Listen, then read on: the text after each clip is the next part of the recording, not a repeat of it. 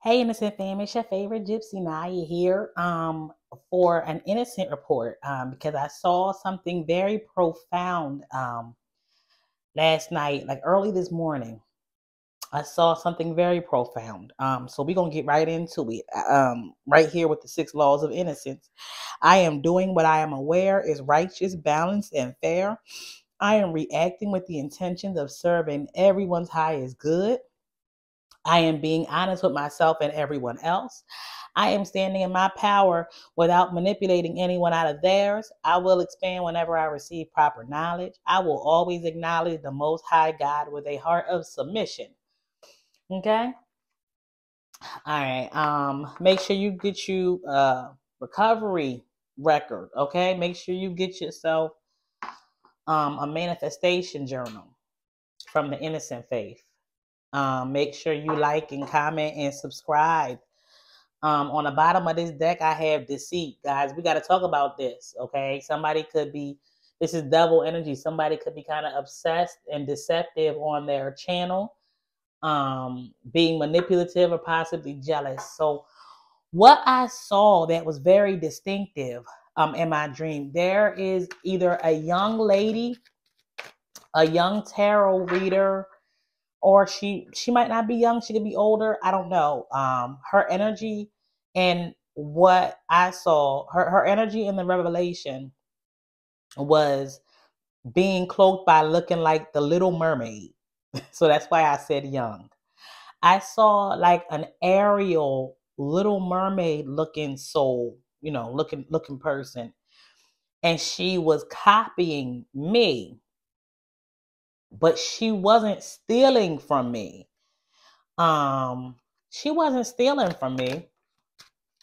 She was like um just copying, like purposely trying to resonate, almost trying to um read with me. In the dream, she was trying to read with me or for me. It's like she wanted me to see her. Angel of Balance. Oh my gosh. I said the Little Mermaid, and this is what she looked like. This is how you're, wh- whoever this is. Excuse me. like Temperance, Angel of Balance.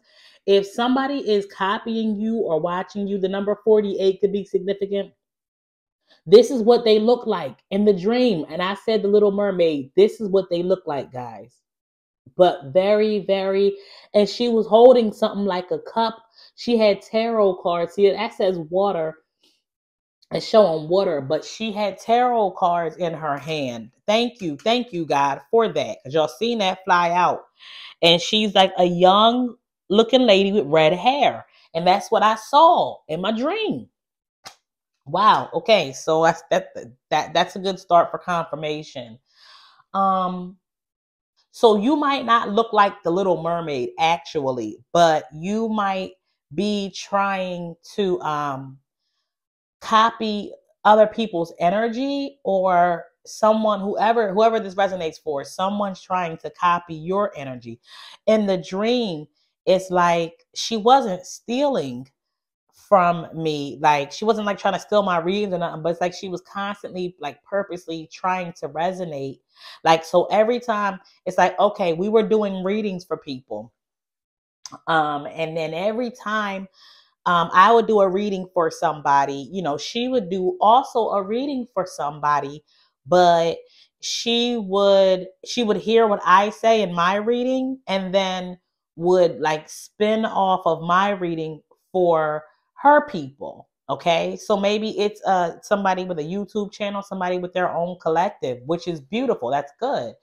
But she was an admiration of like, look at how this young lady is admiring this cup of water. It's like she was an admiration of what I was doing, but her gifts were different. And the dream is like she was admiring like that I was bigger than her but what I got from that, like in the dream, I was really, really like stocky and strong. So that represents to me, I interpret that as bravery. Somebody um, is just really, really encouraged by your bravery and by your outspokenness.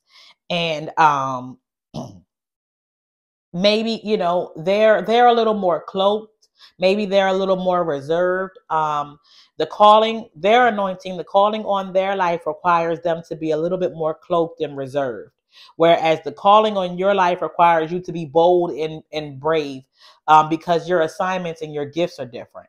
In the dream she had a lot of like esoteric knowledge as to planetary alignments and how that affects us on um on earth in the carnal realm and i didn't have that knowledge. And i kept telling her in the dream to use her esoteric knowledge. It was like she could also sing. So whoever this is um they could be they could be copying my energy who knows?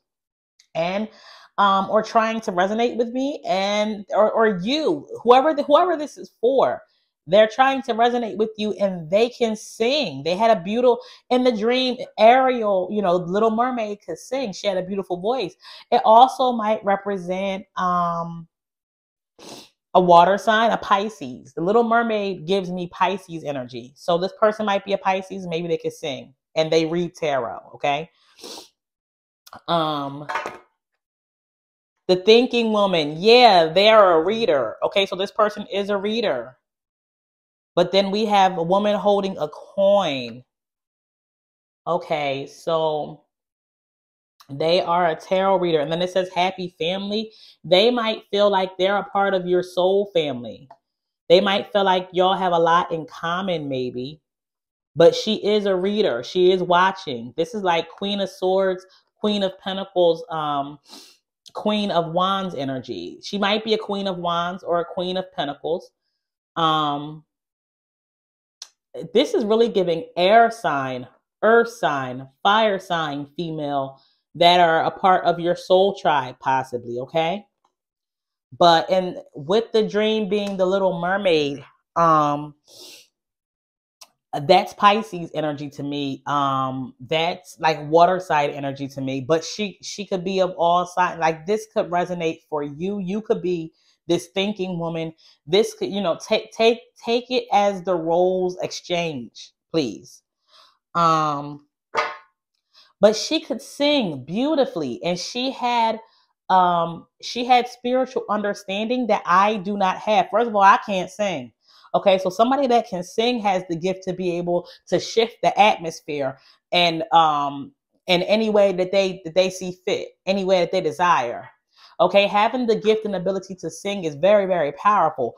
And y'all so lucky I can't sing because, see, I refuse to be like my mom. My mom is somebody who can't sing and don't fucking know it. And, that drives me nuts. But um, I'm sorry, I'm trying to watch my mouth. But uh, I refuse for that to be me. I know I can't sing, but this, whoever this is that watches you, um, and is maybe trying to copy your energy, or if this is you, if you resonate with this reading as the person trying to copy, as the Little Mermaid, um, you had a, a beautiful gift and you could sing. And I was telling you to use your gifts and fa- fall in love and ad- admiration um and what's good about you. It's like your collective and the people that you was reading for was all there waiting to hear like the planetary alignments. And it's like in the dream you could look up at the stars and like your eyes started to glow.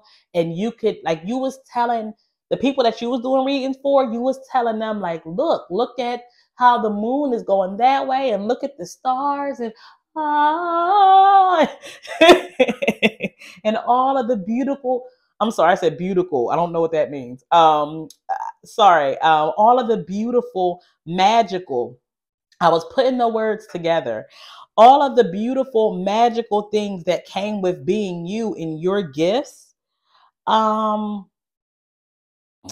that's what you were supposed to be using. Um, I don't I didn't possess any of that energy, but just like you were in admiration, it's like you wanted to resonate with me but I don't even have the gifts that you have. And that's what I kept saying in the dream. And then whenever you would do a reading for your collective, in the dream you would turn around and ask me, "Did you see it? Did did you see it?" What God kept showing me was that you like you wanted me to watch. You like like you wanted confirmation. You wanted me to reassure you somehow that I saw your reading or something. And in the dream, I have yin yang 22. Um, in the dream, in the dream, I, I didn't see it. Every time you would ask me, did you see it? Did you see it? Um, I never, I didn't see it, or I didn't hear it, or I missed your reading or something. So I might not be a part of your collective, but you might be a part of mine. What this is telling me is you have to balance your light with your dark. That's that's what this is about. And you need to be you need to be your own biggest fan. Your your light and your dark blends together too. Like okay, in the dream it's like you were in admiration of my grounded nature but your grounded nature is important too your grounded nature is beautiful too you okay this card shows me like the earth and the water kind of you um you have a good blend of light and dark as well you don't have to uh you don't have to overly um indulge in anyone else's it's it's like living vicariously through somebody else kind of um and then I just realized that the last last card I got is happy family number 4 and then 22. So that's 4 and 4. And th- that's the message. Like you don't have to That's confirmation for me that that's the message. Your light and your dark blends together so beautifully and so well. Like you you don't have to um attempt to mimic anybody else's energy or spin off of anyone else's like readings in an attempt to resonate with certain soul family or you know certain readings. Um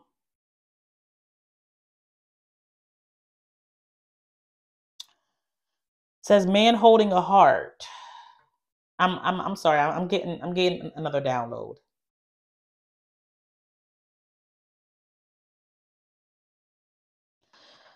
Okay, we have man holding the heart here. Um, it's like, okay, the man holding a heart gives me King of Cups energy.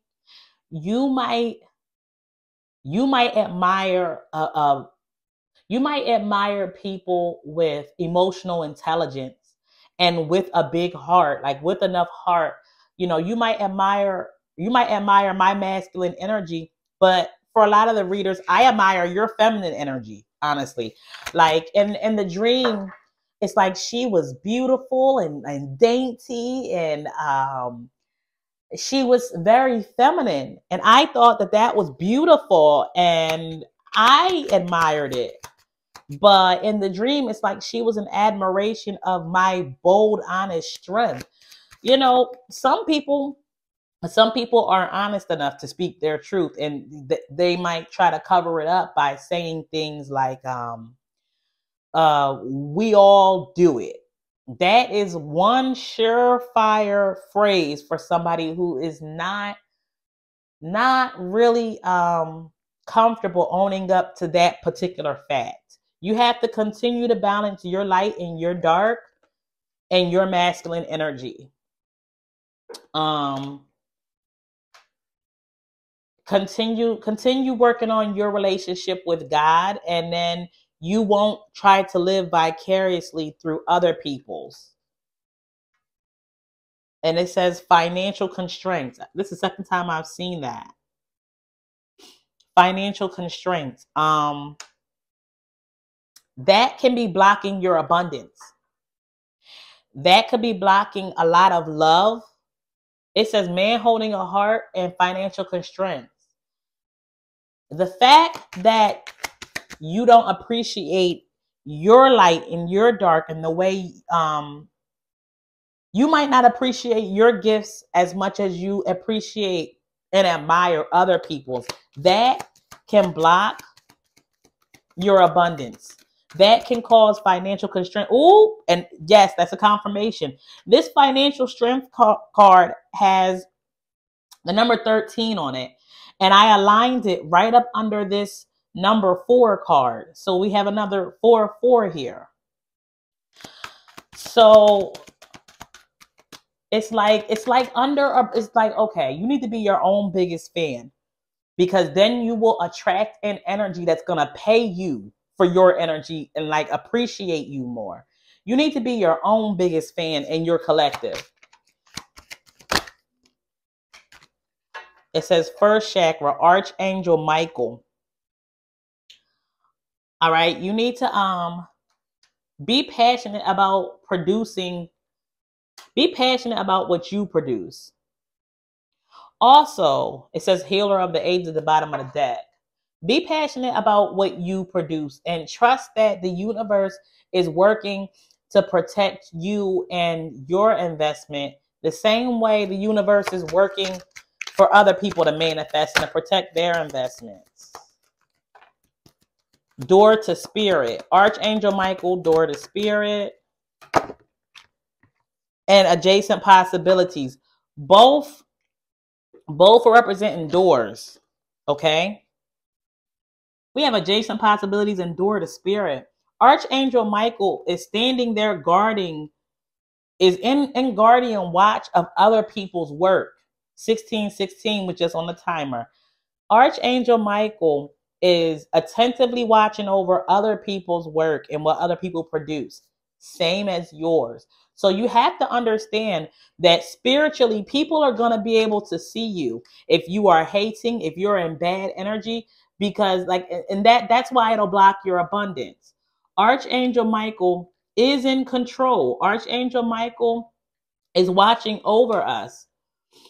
Um, and you know, you want to be in alignment. You want to appreciate. I'm hearing the song by J. Cole, Love Yours. Appreciate your work, appreciate your gifts. You know, I I was never a person to really, really um look into deep astrology because I don't necessarily understand the planetary alignment. First of all, you got to get me to believe that all them planets exist. I'm a truth seeker. So I I'm sorry, but um if I don't have any way to get up there in space and verify whether that stuff is really whether this planet is is in Aquarius and this planet is in this house and moving into that, I would only receive that wisdom from hearsay, from what's being said on the internet, from watching, you know, NASA different stuff. Because I can't physically um, carnally verify it, I don't even get into it. I like carnal verifiers. There's a lot of false prophets and liars in this country and everywhere. There's a lot of false prophets and liars that will have you believe in anything for any reason. So I don't get into it because I don't understand it and I can't verify it. But that is not you. That is not your gift. You have a gift where somehow, some way you can see into that realm of the heavenlies and I can't. 1818 just on the timer.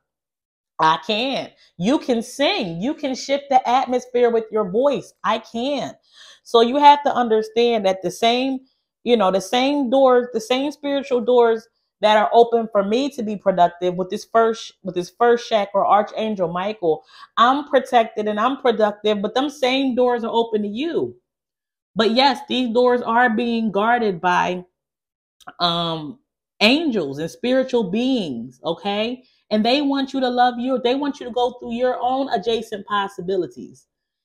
They want you to take hold of your own. Um you're the bomb is really what I keep getting. Like you're awesome. You know, maybe maybe people don't give you your flowers. Don't nobody give me my flowers and I and I will celebrate myself in a heartbeat. That's why God gave me a gift of celebration because He knows my karmic, my my karmic contract for me to be um, reincarnated in this life came with a bunch of family that don't love me, don't care for me, and the world. Yes, that's what I'm saying. For me to come into the world, I was gonna be lonely. Look at that little lonely person. I was gonna be lonely. For me to come into the world, for me to be reincarnated, I had to be alone and be with people who don't appreciate me. The world is dark. Look at how half of it is dark and half of it is, is in light. Okay. I balance my light and my dark, and I graduated, and I'm strong, and I'm confident, and bold and brave because what else am I going to be? And then it also says the world, the bottom of the deck, I've just flipped it over. It says door to value. It's another doorway. You have to gain this confidence and see, you can't graduate going through somebody else's door to value. You have to, you can only graduate through your own door to value. You are valuable for your own reason. It's what's inside of you that busts open these these funds, that busts open this abundance and you know this celebration and everything that you might admire someone else for. And it says patience, okay? Patience is going to bring your own um, caring connections your patience and trusting in divine timing. Okay. Divine intervention is going to bring this in for you as well. You might feel lonely. That's what I'm getting here too. You might feel lonely too. You might, you might have re- reincarnated alone too, but divine intervention, divine intervention and having faith in your own value is what changes things for you. Okay. All right, I'm gonna leave that there. I don't know who this resonates with or for. I saw it in the dream, and the God cloaked you as the Little Mermaid, and you are a powerful. It flipped over again in my hand. Caring connections. This person might be watching you. This caring connection might be watching you. You have to be yourself. You can't be trying to um be in nobody else's energy. You have to be patient you have caring connections that love you and love the way you read and want to give you your flowers. But it's not okay to be um, imitating or mimicking anyone else's energy. If you are quiet and soft spoken and you can sing, and uh, you might be a Pisces, because I only said that because it was a little mermaid in my dream. But um, you might be a tarot reader I might not be a part of your collective. I might have seen one or two of your readings, but I might not be a part of your collective. And if I'm supposed to be, I will be. Whoever whoever this resonates for, wherever you fit at in this, the person who you want to see you might not be a part of your collective, but they will be if, if your readings um, are supposed to resonate with them. You can't force it. Angel it says angel of love but it fell out in reverse okay? You can't force it because love love can easily be manipulated into um, jealousy. Um, admiration can be manipulated in a lot of toxic ways and that's not what you want.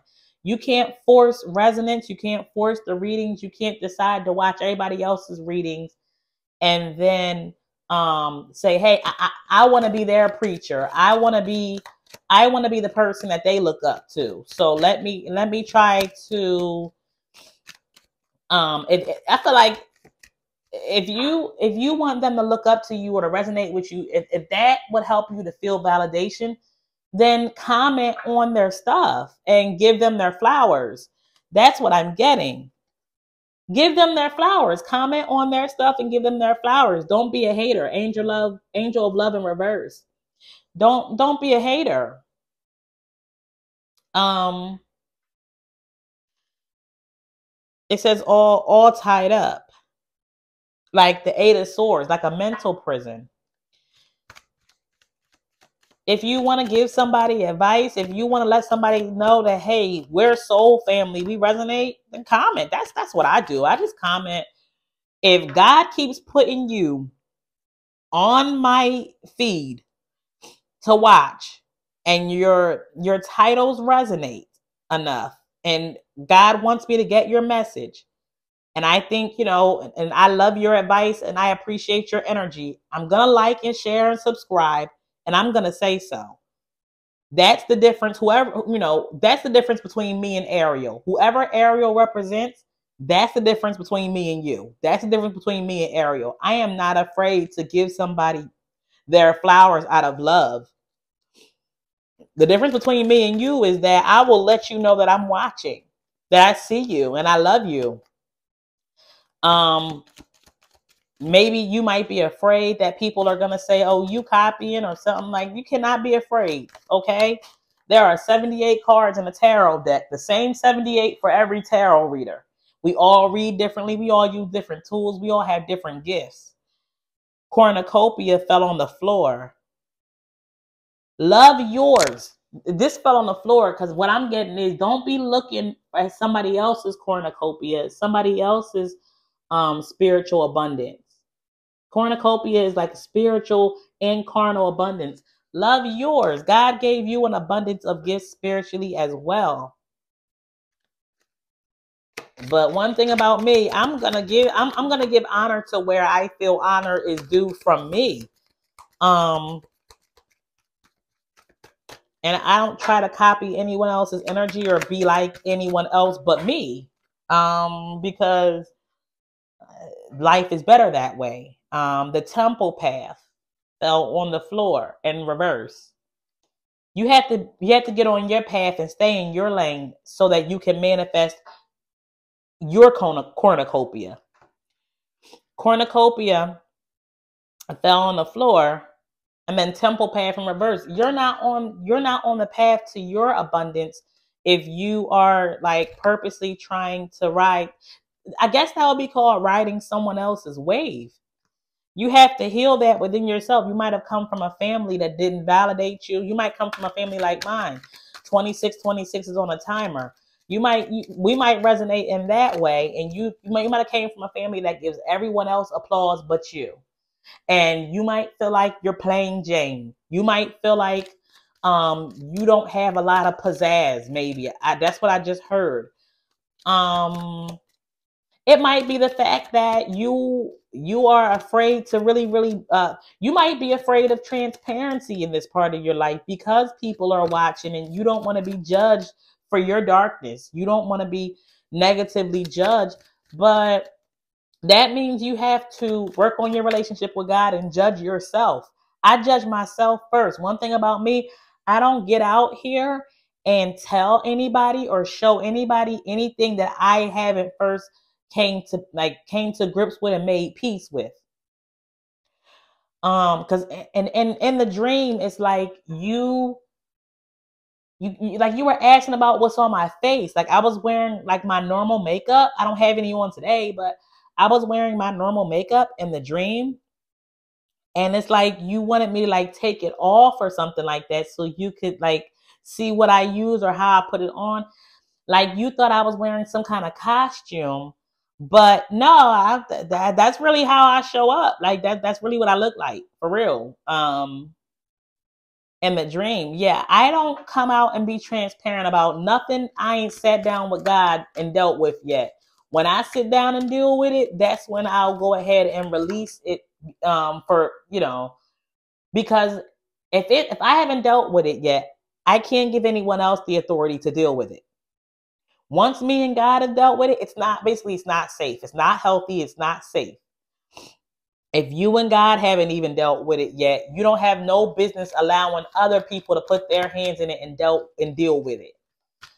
Um, their opinions and their input should not matter enough that you would expose it to them before you expose it like to your own self. Th- that's just not healthy. It- it's just not. So I don't do it. I get out here. Yeah, I, I stopped shuffling on the envy card. It's like you have so much, but like you're looking, this lady is in, in her shadows, in her darkness, and like she's looking out at what looks to be um a, a brighter side, like what what looks what looks to be a better place or something that she finds more beautiful, but she has plenty. What she's holding is plenty. If you look at that picture, so it's not like jealousy. And in, in the dream, she she was in the dream, Ariel was admiring me. She wasn't like hating on me, but she envied something that I had when when you like whoever Ariel represents, this person was extra gifted. And I thought if if I okay, if I can say so myself, I think that the feminine energy the soft, sweet, feminine energy of Ariel in the dream was it was admirable and beautiful. The fact that she could sing and then during her reading, she would talk about, she would have the people look up at the stars and she would say, and that is going that way and doing that and that and this and that and that and this and ah like I thought it was beautiful. So I don't know. You can't be envying nobody else and their gift. Okay. I wish I could I wish I was that esoteric. Like I wish I understood what's going on in the planets like that. What popped out at me? Fourth chakra, Archangel Raphael um, popped out in reverse. Okay. Um,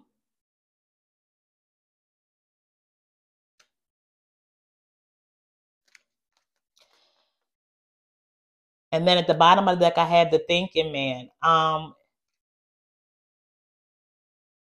your heart could be closed off because you're thinking like, okay, you're not showing your heart, and then deceit you might need to follow your heart a little bit more and speak your mind and speak your truth and get out of your head. I had the thinking man to deceit. Your heart is not, oh wow, and I'm right. When I look at the the uh, this deck, I'm, I'm pulling from the deck. When I look at it, it's like a heart. It's a heart with a lock, um, inside of a cage. And then yeah, Archangel Raphael, the heart chakra card came out in reverse. Then the thinking man you're you're stuck in your head too much. You can't be worried about that. You're stuck in your head too much. And it's it's um opening the like the door for too much devil energy. You're being too judgmental of yourself. You got to give your heart your freedom. Set your heart free door to romance set your heart free. It's like you're admiring and the dream is like you're admiring and then a strength. Yeah you are admiring my strength and my heart but you have your own story.